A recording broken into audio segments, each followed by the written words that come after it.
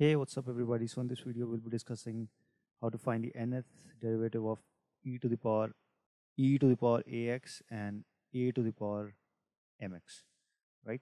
So let's say the function, so let's go for the first one, y is equals to e to the power ax, right?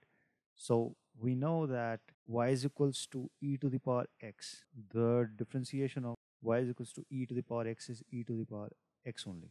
This is but this is actually e to the power 1 what we are doing here and then i'm and then i'm differentiating x also. So i get a 1 here right? So i get e to the power x.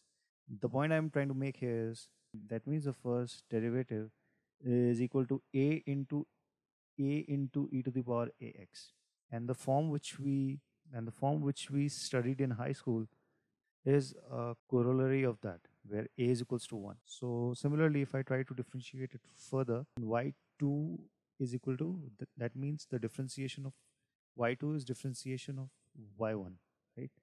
So a is a constant, it will stay, it will stay here and a is a constant, so we need not count that. We'll, we'll deal with e to the power ax, right? So e to the power ax, if you want to if you want to differentiate this, so we'll get the same thing only.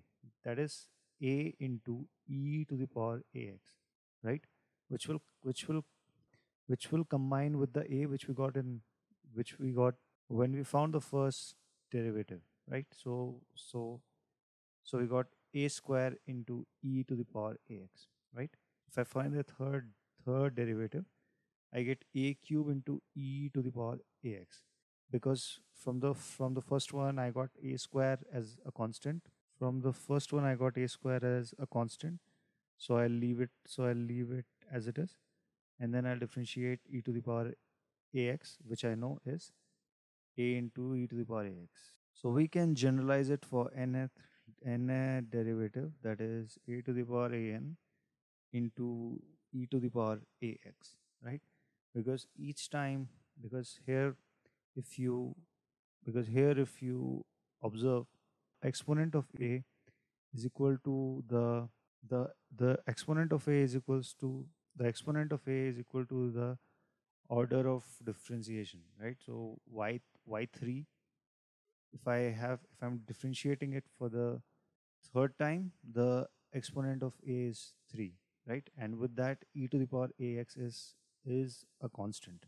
So we can use the similar so we can use the similar approach to find the nth nth derivative of y is equals to a to the power mx right? Now here if i differentiate this now here if i find the first derivative of y is equals to a to the power mx a to the power a to the power mx into log a and then i differentiate mx which gives me m the if I differentiate a to the power mx, I get a to the power mx log a with that differentiation of mx which is m, right? So if I double double differentiate it, same thing, similar thing. Here we know that log a is a constant and m is a constant. So we'll leave it, leave it. So we'll leave it as it is and we'll just deal with a to the power mx which we know is which we know that if we differentiate that we'll get the same thing. M into a to the power mx log a. So if i if i just merge if i merge all of this so i'll get m square and log of a square. And let's observe the pattern from the first two derivative. A to the power mx is a constant right? And exponent of m is equals to the and exponent of m is the order of the differentiation right?